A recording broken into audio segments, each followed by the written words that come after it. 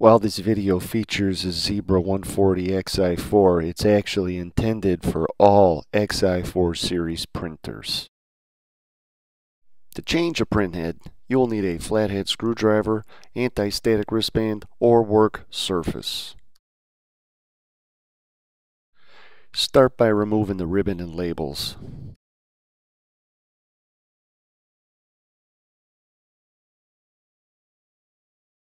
Use the flathead screwdriver to loosen the printhead mounting screw.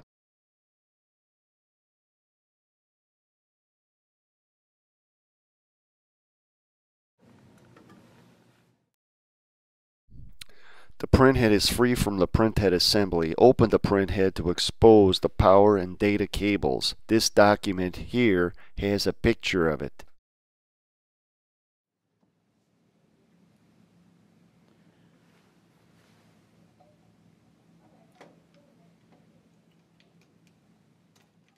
Unplug the power and data cable.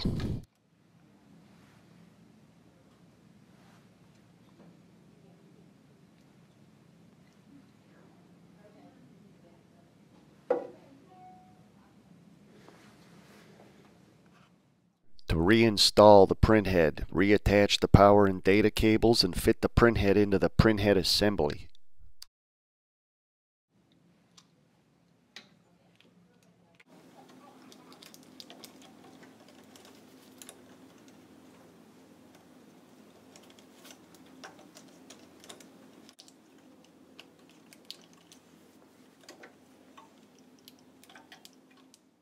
Marry the printhead to the printhead assembly, making sure to align the printhead alignment posts to the printhead alignment slots. Uh, tighten the printhead mounting screw, but do not over tighten, it will break.